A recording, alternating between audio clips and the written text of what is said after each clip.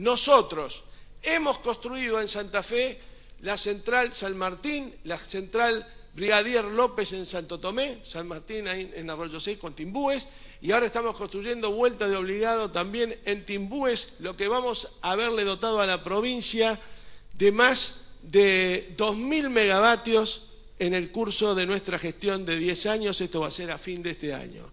No había, en, los últimos 50 años no se había hecho ninguna central eléctrica al norte de Rosario en la provincia de Santa Fe. La empezó el presidente Kirchner y la inauguró Cristina, que es la central este, Santo Tomé en la provincia de Santa Fe. Esto habla a las claras de la vocación industrial de este gobierno nacional, porque la energía es el elemento fundamental, es la herramienta fundamental para que ustedes como dirigente político impulsen el desarrollo industrial de Santa Fe.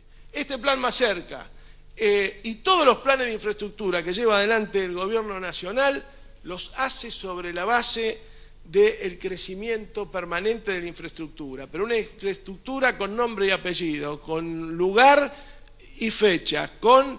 Eh, la, cara del intendente, del presidente de comuna y de la gente, que como decíamos antes es la que tiene la preocupación. No, la agenda, la agenda no se maneja con agenda, se maneja con expectativa, con esperanza, con necesidades. Ahí está Cristina, que es la que ha dado respuesta a todos estos interrogantes y a todos estos, problemas durante estos años y es la que lleva y empuja y pelea por la industria nacional como no lo hizo nadie en la Argentina en los últimos 50 años.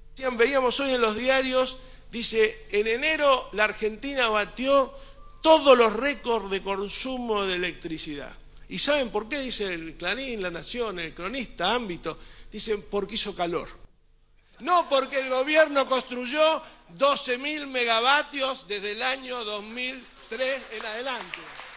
Por eso en la Argentina hubo récord de consumo de energía porque Néstor y Cristina invirtieron en centrales, no porque hizo calor.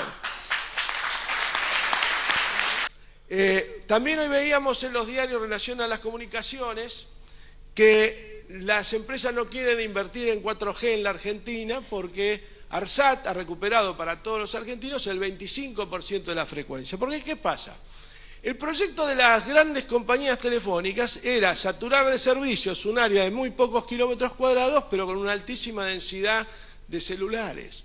Entonces, acá íbamos a tener 4G con el proyecto que venía, y en Jujuy nos íbamos, o en Ceres, nos íbamos a comunicar con señales de humo. Esta es la cuestión. Por eso el Estado retoma la estrategia de este sector del espectro, que ni siquiera es eh, nacionalizado, sino que vamos a ser mayoristas y vamos a hacerlo a través de empresas locales, cooperativas, en fin, todas las empresas pequeñas y medianas que estén dispuestas a vender el servicio en el interior lo van a poder hacer con las marcas Librear. Lo que vamos a tener nosotros en nuestra marca y fijar la pauta y el horizonte de qué es lo que queremos iluminar. Y si no, a cualquiera que vaya de acá, le digo, párese en la Quinta Avenida en Nueva York, en cualquier lugar, y vea si tiene en su celular, en su smartphone, más velocidad de Internet que la que hay acá. Y es mentira, no hay.